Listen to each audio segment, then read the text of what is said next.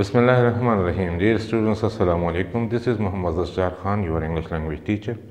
Today we will record another video of a new synonym, pair of synonyms.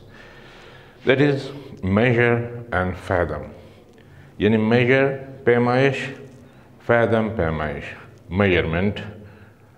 हम आम तौर से इसको नाउन के तौर पे इस्तेमाल करते हैं but measured, measured, measured.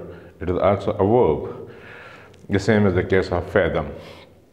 Fathom measured خشکی پہ کوئی چیز جب آپ ناپ کرتے ہیں اس کو میجر کہتے ہیں فیدم پانی میں جب آپ نیچے گہرائی ناپ کرتے ہیں تو اس کو فیدم کہتے ہیں یہ میٹافوریکلی ہم کسی سخت ایشو بہت جو کرٹیکل ایشو ہوتی ہے کوئی بہت بڑا مسئلہ ہوتا ہے جس کی سنگینی بہت سخت ہو بہت زیادہ ہو تو ہم اس کے لیے بھی استعمال کرتے ہیں you can't fathom the depth of this problem اور you it means that you can't understand this problem so measure خشکی پہ جب آپ ناپ تول کرتے ہیں اس کو for example he measured the boundaries of the plot یعنی اس نے پلاٹ کی باؤنڈریز کی میجرمنٹ کی پیمائش کی you can't or you cannot fathom the depth of water تم اس پانی کی گہرائی کا اندازہ